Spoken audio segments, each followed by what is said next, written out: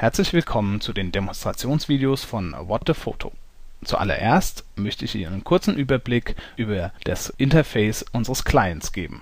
Im Hintergrund läuft bereits der Server, so dass wir uns mit dem Client direkt verbinden können. Nach dem Start der Anwendung bekommen wir das Login-Fenster und die Konsole zu sehen. Die Konsole enthält Debug-Ausgaben, die wir für unsere Demonstrationszwecke nicht brauchen, deswegen können wir sie ausblenden. Ich logge mich nun mit einem Standard-User ein, um die Bedienelemente des Interfaces zu erklären.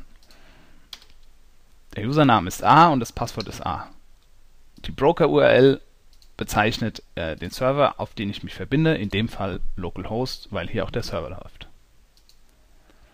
Nach dem erfolgreichen Login öffnet sich die Anwendung in einem bildschirmfüllenden Modus Folgende Elemente stehen zur Verfügung: Links oben befindet sich die Menüleiste.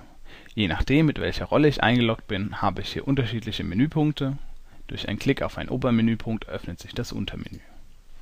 Rechts oben habe ich die Option, die Anwendung zu minimieren oder die Anwendung zu beenden.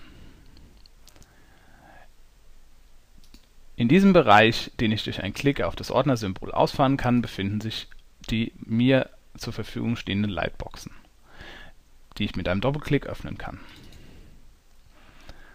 Die Fenster einer Lightbox kann ich frei verschieben und skalieren. Mit einem Klick auf das X schließe ich sie wieder. Durch einen Klick auf das Ordnersymbol schließe ich den Slider wieder. Hier unten drunter befindet sich unsere Suche. Über die Suche kann ich in der gesamten Bilddatenbank nach Fotos suchen.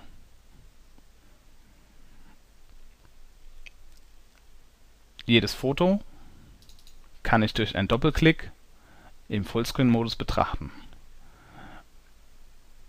Über die Navigation kann ich in der aktuellen Liste die Bilder durchgehen.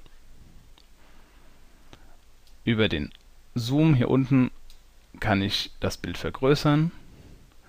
Mit einem Mausklick kann ich mir Details zurechtziehen über das X schließe ich die Vollbildansicht wieder. Fotos haben auch ein Metadatenpanel. Das öffne ich durch einen Rechtsklick. Hier sehe ich Eigenschaften des Fotos.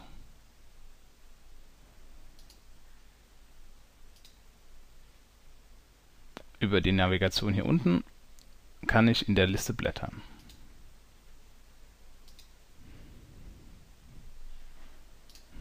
Soweit zur Übersicht.